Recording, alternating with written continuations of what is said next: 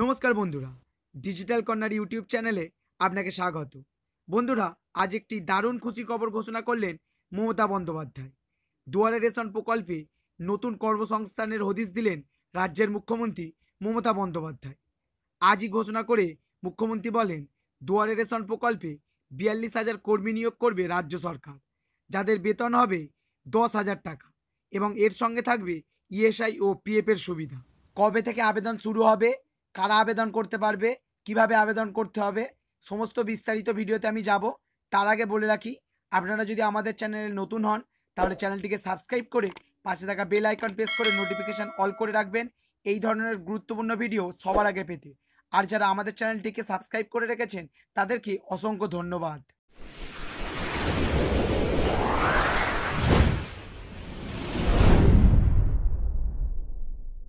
দেখুন বন্ধুরা আমি সেই বিশেষ প্রতিবেদনটি ওপেন করে নিয়েছি।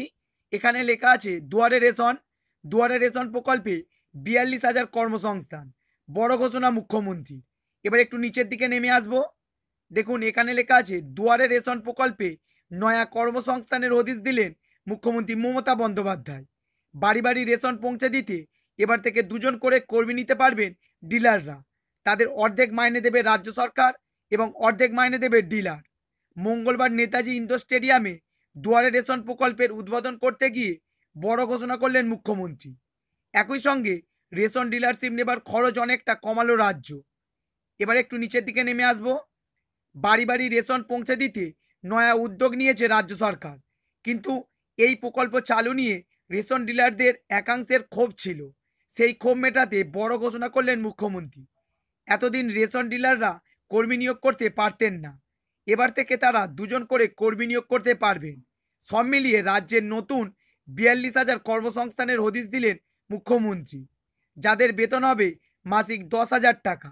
তাদের বেতনের অর্ধেক দেবে রাজ্য সরকার, অর্ধেক দেবে রেশন ডিলার।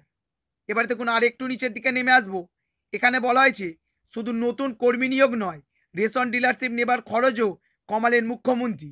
জানালেন, এবার থেকে বাংলায় রেশন ডিলারশিপ নিতে পঞ্চাশ হাজার টাকা দিতে হবে না। আগে এই খরচ ছিল পাঁচ লক্ষ টাকা। পরে মমতা বন্দ্যোপাধ্যায় সেই খরচ কমিয়ে করেছিল দু লক্ষ টাকা। এবার আরও কমানো হলো খরচ। পুরুষদের পাশাপাশি মহিলাদেরও রেশন ডিলার করার পরামর্শ দিলেন মমতা বন্দ্যোপাধ্যায়। বাড়ি বাড়ি রেশন পৌঁছে দিতে প্রয়োজন হবে একুশ হাজার গাড়ির।